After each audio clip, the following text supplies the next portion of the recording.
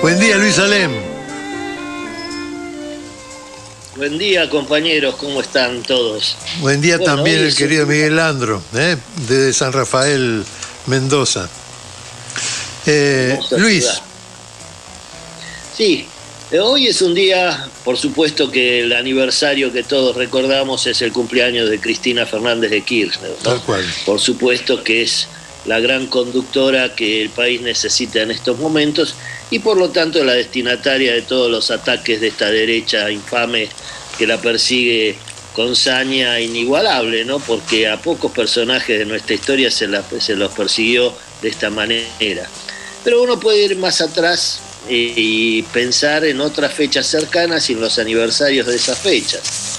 Por ejemplo, el 18 de febrero de 1938 se suicidaba Leopoldo Lugones.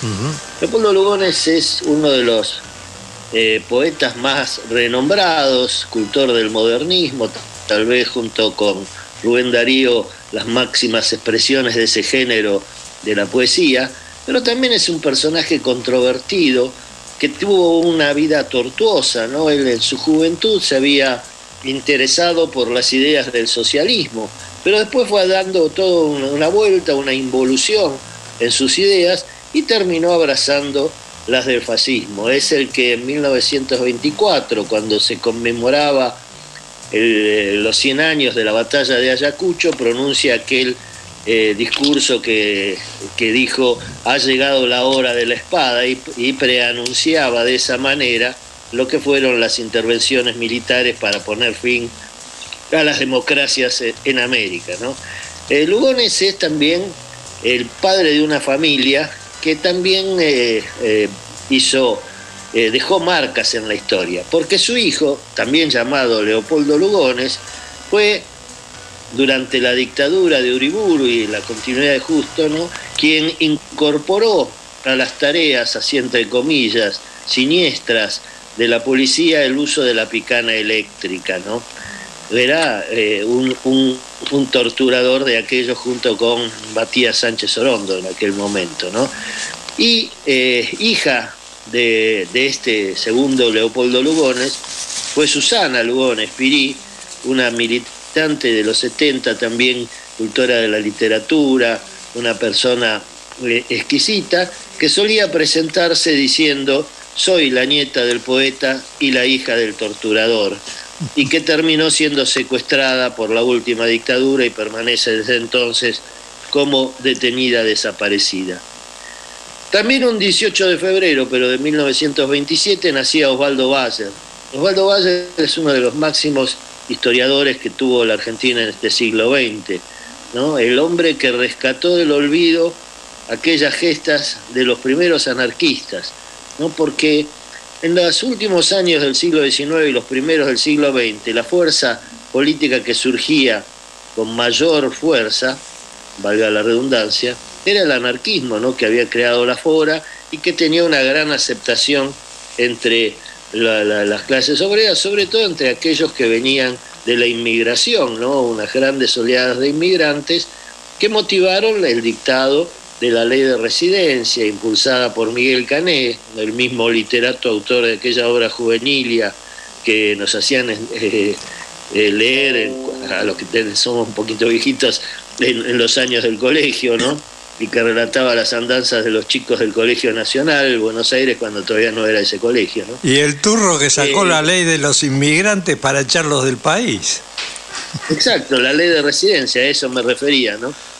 Y después también la ley de defensa social que Figueroa Alcorta incorpora en, en 1910 después de un fallido atentado de los anarquistas ¿eh? y entonces en un tiempo récord, ¿no? Imagínense ustedes 1910, fíjense lo que es difícil eh, hoy de congregar al Congreso Nacional para que trate cualquier tema. Bueno, en 1910 pero Alcorta logró que en un, en un día se juntaran ambas cámaras y sancionaran lo que se llamó la Ley de Defensa Social, que es la que incorpora figuras que hoy conocemos como la intimidación eh, pública, como la incitación a la violencia colectiva o como la apología del crimen o la asociación ilícita, que tienen su origen en esa ley, que fue usada con las modificaciones que se fueron dando a través del tiempo históricamente para perseguir a las disidencias políticas. Bayer es quien rescata las luchas de aquellos anarquistas y sobre todo las de una figura como Severino Di Giovanni, asesinado por la dictadura de Uriburu junto a Paulino Scarfó en 1932, ¿no? Eh, que muere gritando de viva la anarquía, y sobre todo la gesta de la Patagonia trágica, la Patagonia rebelde, ¿no? Los Vengadores de la Patagonia trágica se llamaba el, primer libro que escribe Bayer, y que rescata todo lo que fue la lucha de los obreros de, la Patagonia contra los estancieros ingleses fundamentalmente en la, década del 20, ¿no? que tiene dos etapas, una primera donde se llega a una especie de conciliación con la figura de un juez, que es el que interviene dándole la razón a los obreros y se logra un acuerdo que es muy precario y que dura poco tiempo, porque los estancieros, y bueno, toda la oligarquía aliada con los capitales ingleses, porque la, Patagonia había sido loteada después de la mal llamada conquista del desierto a los ingleses, ¿no? Eh, se, unen para desconocer todo tipo de acuerdo y volver a la explotación salvaje de, los trabajadores. Esto motiva levantamientos y eh, interviene el ejército con la cuota de sangre que todos conocemos. Piensen ustedes que los más de 3.000 muertos, más o menos reconocidos, porque fueron muchos más, que hubo en aquel momento, eh, en una provincia como la de Santa Cruz, si, hacemos la comparación del total de población que es, es una masacre realmente de proporciones enormes para lo que era la época, ¿no? Y que sirvió para eh, consolidar ese poder de, la oligarquía y de los ingleses, ¿no? que hasta hoy seguimos padeciendo. ¿no? Hace unos años en la estancia Lanita, que es, era propiedad de los Menéndez Betty, se realizó una excavación y se descubrió una de las tumbas colectivas que eh, son el recuerdo de aquella masacre perpetrada por el ejército en el teniente coronel Varela, que después fue ejecutado no por un joven anarquista. ¿no? La historia que de alguna manera narra aquella maravillosa película La Patagonia Rebelde, ¿no? Así es, hermosa película. Todos conocemos, ¿no? Pero Bayer fue el, que trajo todas esas luchas a, la vida política porque los anarquistas habían sido prácticamente exterminados durante la década del 20 y del 30 y eliminados de la vida política. Algunos subsistieron y algunos, eh, esto es una anécdota va, no una anécdota, sino un dato de la realidad curioso y poco conocido, como Isaías Santín, fueron asesores de la inimitable Eva Perón. ¿no? Fue uno de, los que integraba el, grupo al cual Eva recurría para consejos durante eh, la primera presidencia del general Perón. Eh, los anarquistas fueron una de las pasiones de Bayer, la otra fue recuperar la memoria de los pueblos originarios. ¿no? Él hasta su fallecimiento hace cinco años, fue uno de los impulsores de que, por ejemplo, a la localidad bonaerense de Rauch, que recuerda a un coronel prusiano de las fuerzas de la Valle que se especializaba en matar indios, ¿eh? se le cambiara el nombre y se le pusiera el nombre de Arbolito, que fue el cacique que combatiendo, este es un dato que a veces Valle se lo olvidaba porque no tenía demasiada simpatía por, eh, por, la figura de Rosas, ignoraba, pero Arbolito combatía con las fuerzas federales contra las fuerzas de la Valle, de las cuales Rauch formaba parte, ¿no? que habían sido los que derrocaron y fusilaron a Manuel Dorrego. ¿no? Basel fue un hombre comprometido con su tiempo y sus ideas y un hombre de una integridad eh, a veces poco vista. Eh, yo recuerdo cuando yo era muy pequeño, mi, tenía un tío que era periodista y me contaba que en una huelga en el diario El Mundo de aquellos años, que ya no existe más.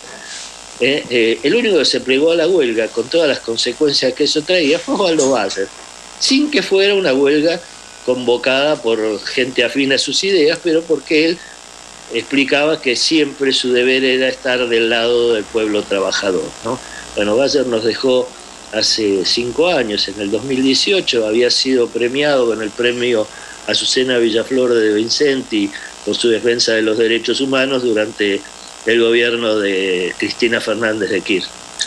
Estuve Así peleado con que- estuve peleado con Osvaldo Bayer eh, cuando Era un hombre de un carácter especial. sí sí cuando este publiqué el discurso de, de Evita de 1951 del día del trabajo del primero de mayo y él consideraba que ese era un discurso nazi de Evita así que nos peleamos a través de página 12 y de la Naki Pop eh, pero después fui a apoyarlo en el juicio con Martínez de Oz, cuando yo era presidente de TELAM, este, me hice presente en un acto que él organizó frente a tribunales para eh, traerle mi solidaridad y mi apoyo. Así que Sí, Eh. esa fue a raíz de una película, Ay Caligüen, que dirigió Mariano Aiello, una película donde Bayer intervino activamente y entre otras cosas decía un dato de histórico, es decir, la primera sociedad rural que presidió el, prim- el primero, el- uno de los Martínez de Oz,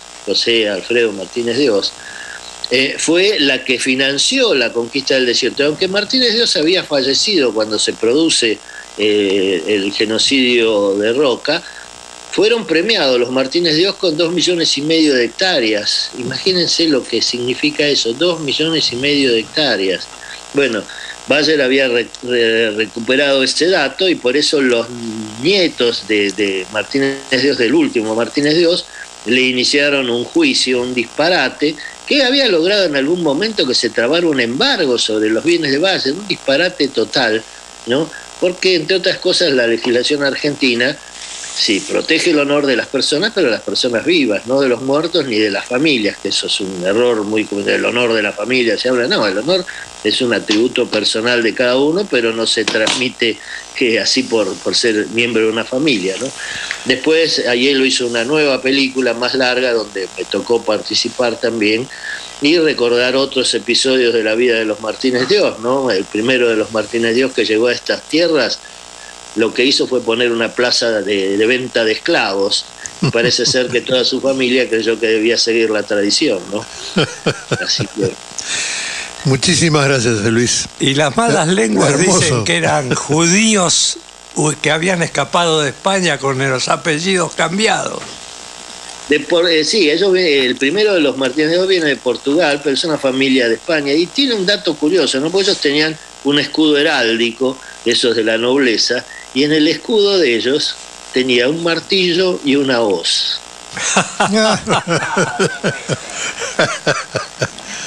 Eh, Luis, los otros días la, la mesa de enlace presentó una cautelar para no pagar el bono, ¿no? Un bono de 24 mil pesos.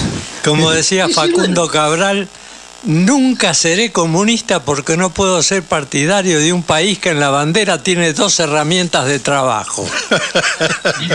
Bueno, este, eh, eh, esto de la mesa de enlace es nada más que una tradición de, de la- lo que llamábamos antes la, la oligarquía agrícola-ganadera, ¿no? que ahora que sigue siendo la misma y que sigue teniendo la misma idea de explotar a los trabajadores, a los jóvenes, y que se arroga ser la representante del campo cuando muchos de ellos no han pisado un campo en su vida. ¿no? Esto pasa no solo aquí, recién escuchábamos al compañero que nos explicaba, a Bior, que nos explicaba la situación de Perú, y yo recordaba que esa misma eh, eh, oligarquía, aristocracia limeña, es la que asesinó a Bernardo de Monteagudo en 1825, ¿no? Así que son tradiciones que se perpetúan a lo largo de la historia. ¿no? Estaban mejor con los españoles, Ellos sí, ellos Claro. seguramente.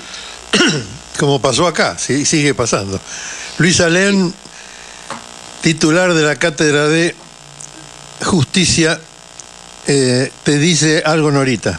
Sí, te quiero Ah. agradecer, Luis, el lindo mensaje que me mandaste en mi cumpleaños.